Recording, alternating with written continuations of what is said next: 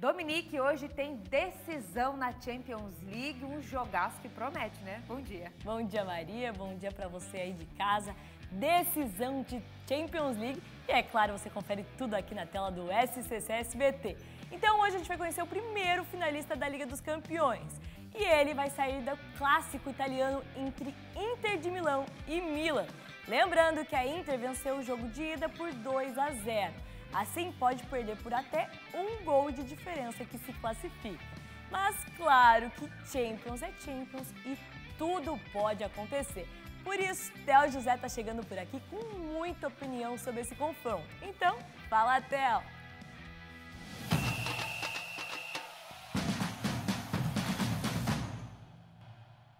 Dominique. Oi, amigos do SCC. Pois é, hoje vamos conhecer o primeiro time que vai estar na grande final da Champions no dia 10 do próximo mês em Istambul, na Turquia. Há uma vantagem por jogar com o mando de campo e também por ter vencido o primeiro jogo para a Inter de Milão. Hoje, no Giuseppe Meazza em Milão, mais de 90% dos torcedores serão da Inter, que já começa o jogo com 2 a 0, já que foi o placar da primeira partida na semana passada. Mas não vejo esse confronto definido não. O Milan tem sete títulos de Liga dos Campeões. O Milan vai ter de volta o Rafael Leão esse português é fundamental no jogo ofensivo do Milan, principalmente para as bolas chegarem no gigante Giroud para a definição. Tá 2 a 0 para Inter, Tá, mas o Milan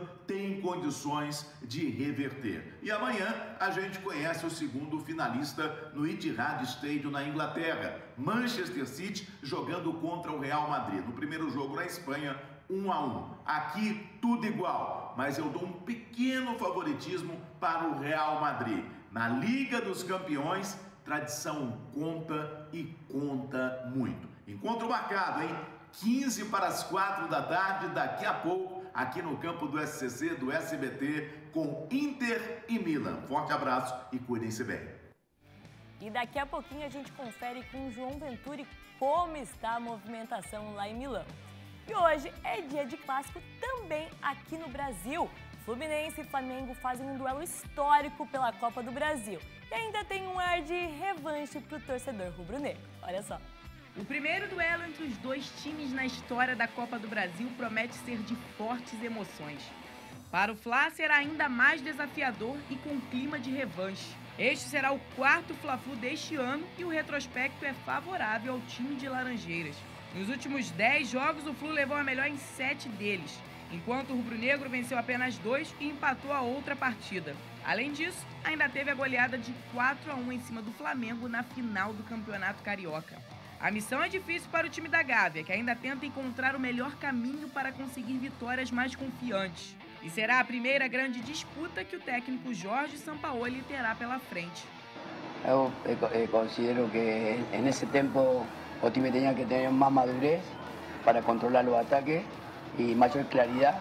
Para o jogo, o Flamengo não vai poder contar com Davi Luiz, que teve lesão muscular detectada na coxa direita. Além dele, é dúvida o goleiro Matheus Cunha, que apresentou uma inflamação no quadril direito e será reavaliado para a partida de hoje.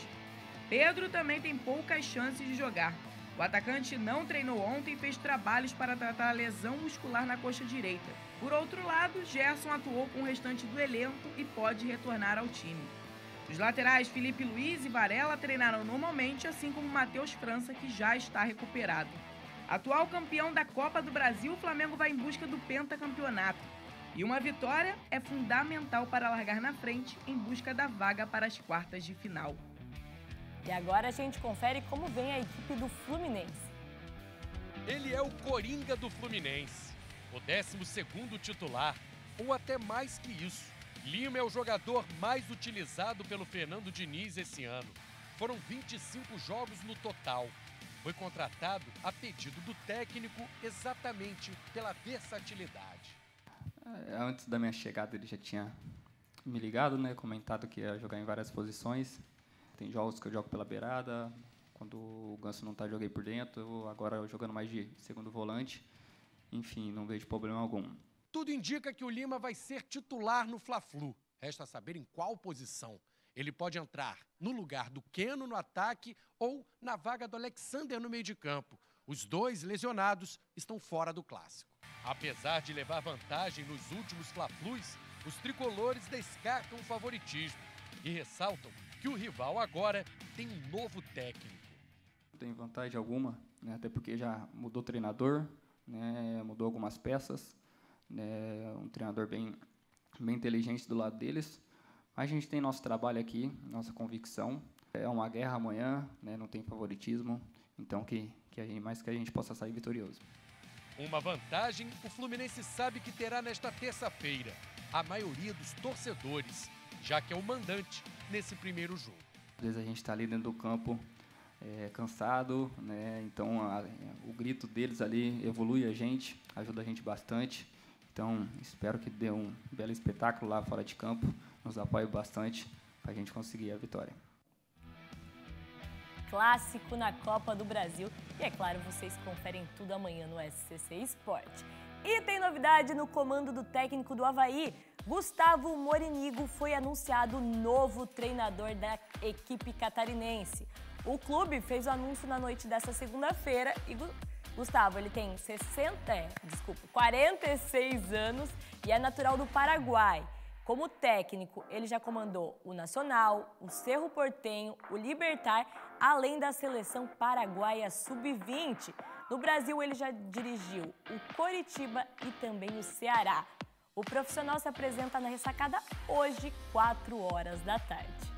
E foi aberto para visitação o mausoléu onde está sepultado o Pelé em Santos. A nossa equipe foi conferir de perto, olha só. Mil gols, mil gols, mil gols.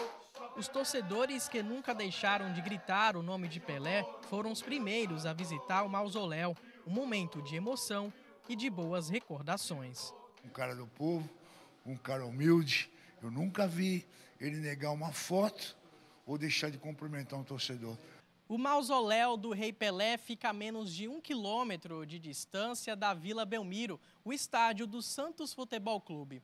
Foi lá que o rei deu os primeiros passos como jogador profissional.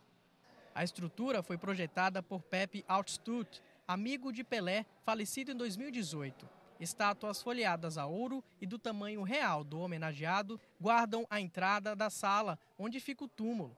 O piso é de grama sintética e as paredes têm imagens que simulam torcedores do Santos. É como se Pelé descansasse dentro de um estádio foram montados quatro painéis que retratam os gols e a tradicional comemoração com um soco no ar. Também chamam a atenção o céu azulado acima do túmulo e os uniformes da seleção brasileira e do Santos. Todos os detalhes foram cuidadosamente decididos juntamente com a família do rei. Foi feito com muito amor por pessoas que conheciam ele, conviviam com ele, então realmente tem a, a essência né, do, do que do que ele era e, e é muito nobre, é muito simples e, e, e muito agradável. A visitação é gratuita, mas precisa ser agendada no site do cemitério. Mas por aqui, ninguém tem dúvida de que o legado do rei é eterno. Realmente, o rei sempre será eterno. E a gente volta a falar de Liga dos Campeões, porque hoje é dia de decisão. E quem está lá em Milão, vendo todo o clima por lá, é o João Venturi que traz todos os detalhes para a gente agora.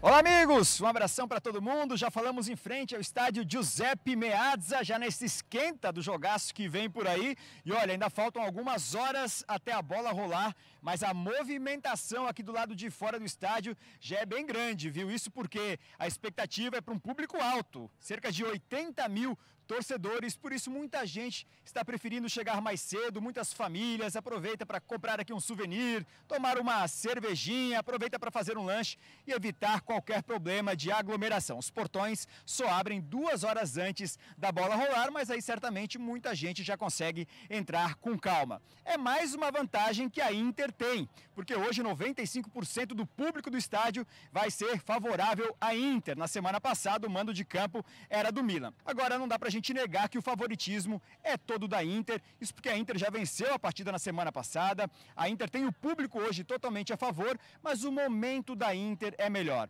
A Inter vem de sete vitórias seguidas. A confiança está no alto, bem ao contrário do Milan, que vem de duas derrotas seguidas. No último final de semana, perdeu para o Spezia pelo campeonato italiano e os jogadores, inclusive, foram cobrados pela torcida. Uma pressão que aumenta sobre esse time e aumenta também sobre o treinador, o Pioli. O Milan que foi campeão italiano no ano passado, Pioli que chegou em 2019, mas os resultados nesta temporada ficaram bem abaixo do que se esperava pela torcida do Milan. Então, muita pressão para cima do treinador e do outro lado, muita confiança para quem sabe chegar a mais uma final. A última vez que a Inter chegou em uma decisão de Champions League foi em 2010, quando bateu o Bayern de Munique no estádio Santiago Bernabéu e ficou com o terceiro título europeu.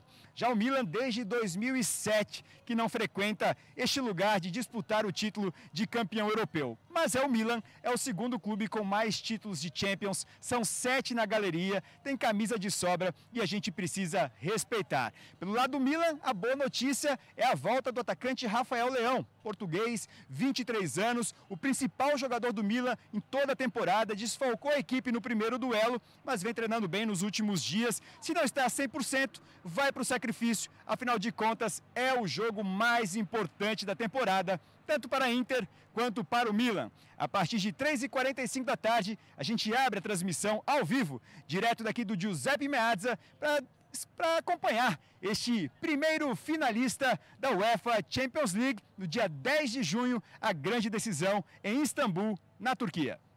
De Milão, João Venturi. Inter de Milão e Milan, 3h45 da tarde, aqui na tela do SBT. Imperdível, hein, Maria? Hoje tem que assistir, ficar ligadinho aqui no SCC SBT. Amanhã você tá de volta, né, Dona? Tô de volta com todos os destaques desse jogaço de bola. Até amanhã, Maria. Até. Tchau.